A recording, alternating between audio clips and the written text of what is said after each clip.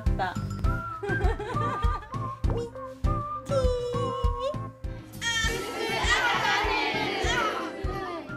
子育て応援番組「すくすく赤チャンネル」今週は集団生活が育む心の発達についてご紹介します。もうすぐ新年度がスタート。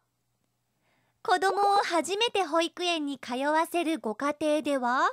あもうなんか寂しくて泣きそうですすでに。やっぱりずっと一緒に今いるので慣れるかっていうのと環境になれるのかっていうのと他の子も怪我とかさせないかとかちょっとそういうのも心配になりますね。お友達との関係や環境の変化への対応など心配に思う声も少なくありません。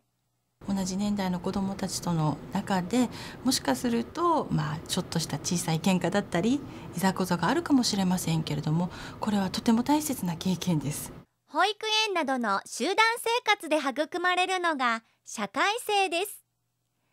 集団のルールの中で子どもは自分の感情をコントロールしたりお友達の気持ちを思いやることを学びます。こうした心の発達は同年代と一緒に過ごすことで促されると考えられています。例えばおもちゃがあって子供が遊びたいっていう時に私が遊びたいっていうお母さんいらっしゃらないと思うんですよ。そうすると子供たちはやっぱりいつも自分の思い通りに進んでしまうっていう風な経験しかさせられない。でもやはり同年代の子供たちだと同じ立場の中で自分の気持ちを言い合いこうするので自分の気持ちを言うっていう経験もしますしまた我慢をするっていう経験もするのでこれが子どもたちの発達にとってはとても大切です。もし保育園に通っていない場合は公園や子育て支援センターなどを活用し同年代の子どもと遊ぶ機会を作ると良いでしょう。